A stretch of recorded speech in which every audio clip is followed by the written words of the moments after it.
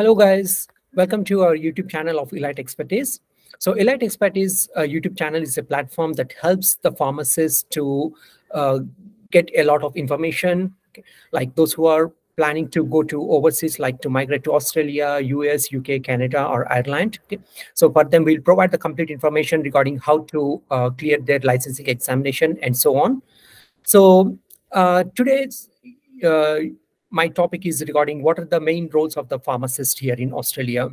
Like most of the students, those who did their PharmD or Bachelor of Pharmacy in India or in other countries, so they just keep on asking that uh, how a pharmacist uh, plays a major role in Australia, or what are the different types of the pharmacist here in Australia, like the community pharmacist, hospital pharmacist, industrial, and so on. So I'll just go through each uh, type of the pharmacist and our roles here.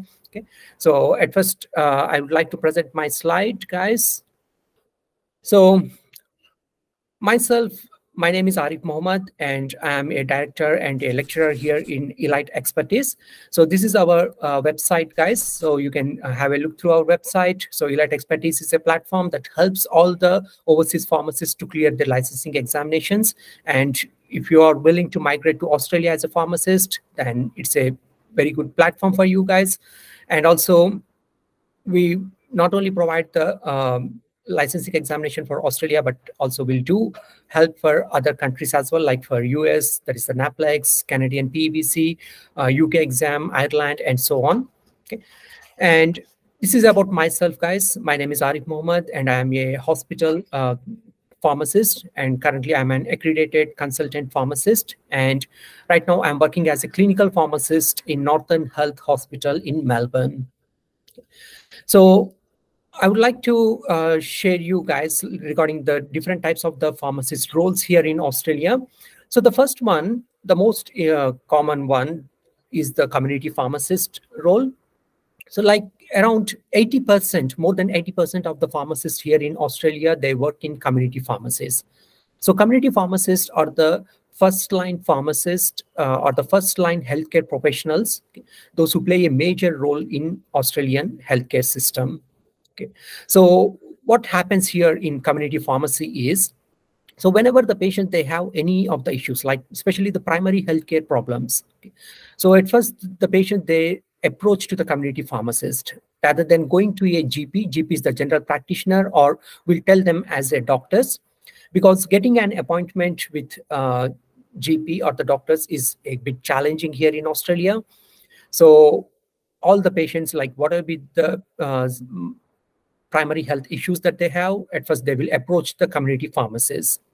Okay, so these are the main roles that are played by the community pharmacist here in Australia. Like they provide the complete primary healthcare uh, advice. Okay, like for example, if the patient has any eczema problem or uh, scabies problem or those who have diarrhea, constipation, uh, conjunctivitis, or any thrush issues, any of the issues. So at first, rather than going to a doctor, so all the patient, they prefer to go and see a pharmacist. So the pharmacist will provide a complete uh, education as well as they provide a complete information to the patient and they provide an appropriate medication based on their scope of practice. So if it is allowed within the scope of pharma, uh, within the scope of pharmacist practice, then the pharmacist will provide the complete um, uh, healthcare advice as well as they give some medication to the patient to uh, get rid of the problems. So that is the main role which is played by the community pharmacist.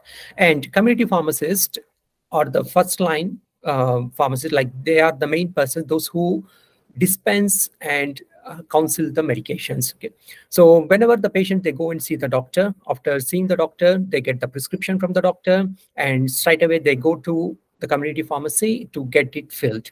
Okay. So where the pharmacist, they not only dispense the medications, but also they will uh, in case if there are any interventions, then immediately they will find those interventions and they will contact or they liaise with the GPs. For example, if there are any errors in the prescription, then immediately the pharmacist will liaise with the GP. They'll contact the um, doctor and they will tell that these are the issues which are associated with the uh, prescription and I'm not happy to fill this prescription. So, and they will ask the doctor to write another script for the patient. Okay. So in this way, um, a community pharmacist will play a major role in avoiding any sort of the medication related errors. And after dispensing the medication, the community pharmacist will provide the complete uh, education or the counseling regarding the medication, that how to use the medication and what are the precautions that they need to take and so on.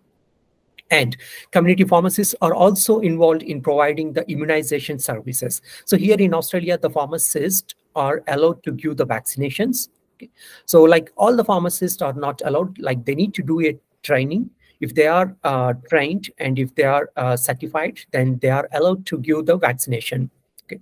Especially they play a major role during the flu seasons. Okay. So every year, uh, all the Australian um, patients, like all the um, persons, like uh, the, the kids or uh, the elders or um, any age group, it doesn't matter. So everyone should get the vaccine done.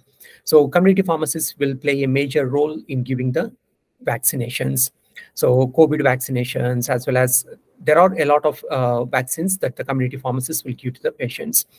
And community pharmacists are also involved as diabetic and asthma educators. So they provide the complete education regarding the asthma, like how the puffers are to be used. And at the same time, they are also uh, like accredited diabetic educators, like they provide the complete education regarding how to maintain their um, blood glucose levels and so on. And other major role which is played by the community pharmacist or the MedsCheck. So MedsCheck is a service which is provided by the community pharmacist in Australia. Like they check all the medications the patient uh, they are taking. Like they go quickly through all the medications and they will discuss with each medication. And in case if there are any issues related to the medication, then they will let the patient know as well as they will send a letter to the doctor like the patient has so and so issues, it should be rectified. So MedsCheck is nothing but it is a quick review of the medications, which is done by the pharmacist, uh, and it is done within the pharmacy. And there is another major role which is played by the community pharmacist is known as a, performing the home medication reviews and residential medication reviews. So all the pharmacists are not allowed to do uh, this service. Only accredited pharmacists who are known as the consultant pharmacists are allowed to do the home medication reviews or the residential um, medication reviews, like in aged care patients. So they will go and perform the medication reviews. Regarding the consultation, consultant pharmacists or how to get this accreditation to perform the uh, HMRs and RMMRs, so that I will explain you in a separate video. Okay, but these are the main roles which are played by the community pharmacist in Australia. Okay, and all the community pharmacists in Australia, they are uh, associated with either Pharmacy Guild of Australia or with the Pharmaceutical Society of Australia. They, they should be a member with either the Pharmacy Guild or with the Pharmaceutical Society of Australia. So these are the bodies where which supports the community pharmacist, okay, and they help a lot uh, in performing their into maintaining or uh, updating their CPD points and so on. Okay. And there are a lot of events which will be going on with the Guild as well as the Pharmaceutical Society of Australia. So this is the Guild homepage and this is the Pharmaceutical Society of Australia homepage. Okay. And so the second type or the next type of the pharmacist are the hospital pharmacist. So hospital pharmacists in Australia are like just we can say that only hardly around 15 to 20% of the pharmacists will be working in the hospital, but major like around 80% of the pharmacists will be working in the community. So the reason here is um, the chances of getting a position in the hospitals is uh, a bit difficult when compared to com uh, community community pharmacies, and even in hospital uh, pharmacies, like there are two major roles. So one is the dispensary pharmacy, like the pharmacists, they are mainly involved in dispensaries. So their major role is uh, to dispense the medication and make sure that uh, all the medications are supplied well to the hospital patients, that is to the inpatients. And also they do some uh, dispensing for the outpatients as well. And the second most important one is the clinical pharmacist. So this is the role where most of the PharmD students are interested in because as in PharmD for the six years or in some countries it is five years. So they are mainly uh, PharmD curriculum is designed to lies like or it is mainly designed to towards the clinical side. Okay, so right from the beginning of the year three of PharmD, all the students they will be going to their uh, hospital rotations they will be going to the uh, wards and they will be seeing the patients up over there okay so if some of you are interested in working as a clinical pharmacist. So here there are different roles that i have uh, listed what the clinical pharmacist they do here in australia. So the first one is the general ward pharmacist. So these are the pharmacists like they are considered as the versatile one like they need to have a knowledge on all the uh, conditions okay? So like the general ward where it is not a specified one okay so the patients they may get admitted with any sort of the problem any sort of the issues then immediately the ward pharmacist that we tell them as a ward pharmacist so that ward pharmacist should go and review the patient, should go and check the medications. So should uh, the pharmacist should make sure that all the medications which are charted by the doctor, they are as per the guidelines. And all the doses which are uh, charted by the doctor are according to the guidelines or according to the Australian medication handbook. And they also need to check if there are any issues, if there are any drug interactions or any other problems. So everything that the pharmacist need to check and then the pharmacist need to sign on the chart. Okay. So here in uh, hospitals, in Australian hospitals, the pharmacists, they have a complete authority. So they will be given a complete authority so that like in case when once the doctors, they chart any medication to the patient, then without pharmacist approval, without pharmacist signature, the nurses, they cannot administer the medication to the patient. So at first it should be screened by the pharmacist. So what will be the new medication or what will be the current medication that the doctors, they chart to the patient. So at first it should be screened by the pharmacist. Then only the nurses are allowed to give the medication to the patient. And apart from the general role of the pharmacist, there are specialized roles. So one is the oncology pharmacist who will be responsible in the cancer uh, specialist or who is the cancer specialist or the renal specialist or the nephrology pharmacist or the cardiology pharmacist. So they are mainly uh, involved in the cardiac uh, in the cardiology ward okay. and the emergency pharmacist. So it is a most important and the leading uh, role nowadays in Australia. So we are focusing more towards the emergency uh, pharmacist and also trying to increase the roles of emergency pharmacist in Australia. And ICU pharmacists who are uh, in charge for the uh, ICU, intensive care unit, and respiratory pharmacists, uh, pharmacists who are involved in the surgical wards and the pain management. And we also have a special type known as the hospital in home, which we'll tell it as the HIT. So where the patients will be treated in the home, but they are still as a hospital patients. Okay, so regarding this hit, I will explain you uh, separately in a different video. Okay, and also we have other pharmacists like the pharmacists who are involved in the gastro ward and pharmacists specialized in performing the therapeutic drug monitoring, that is TDM, and pharmacists specialized in the TPN, that is the total parenteral nutrition. And also there will be a role for education and research pharmacist. So all these roles that I mentioned here, like oncology pharmacist, renal, cardiology, emergency, ICU, um, as well as respiratory, gastro, performing the therapeutic drug monitoring, education and research. So all these are known as the specialized roles in hospital. Okay. So like in each specialty, like in the uh, cardiology specialty or in oncology specialty, like only there will be uh, one or two pharmacists will be there okay?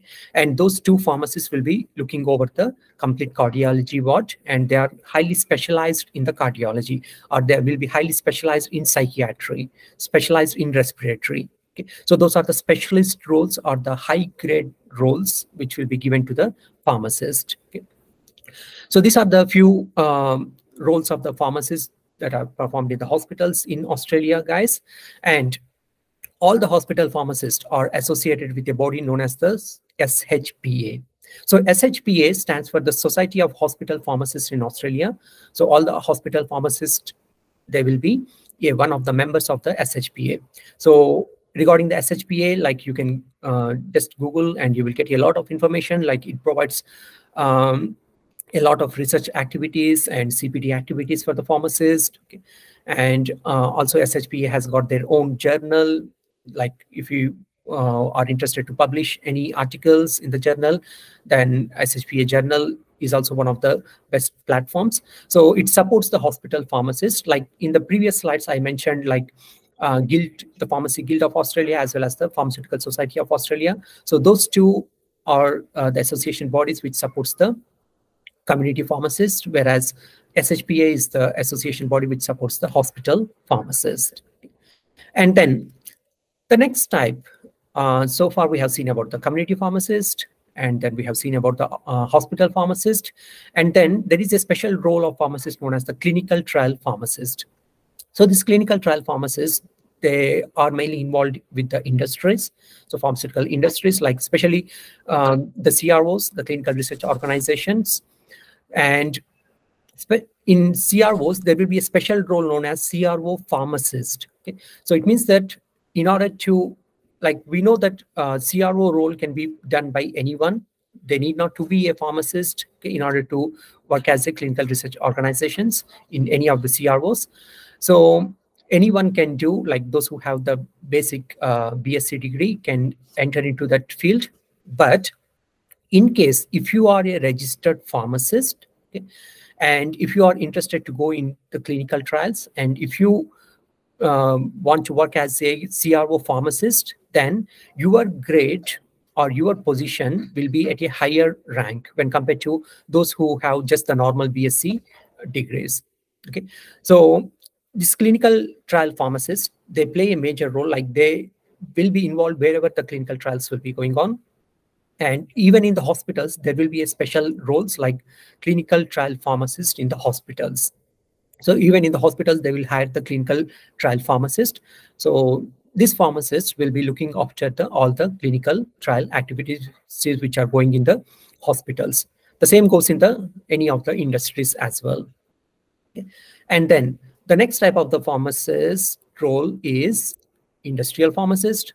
Again, industrial pharmacists also play a major role, but their main role is in the industries to work in the pharmaceutical industries in Australia. But there is a challenge here. Uh, if you are interested to move to Australia as an industrial pharmacist, the problem here is regarding getting the permanent residency, the visa.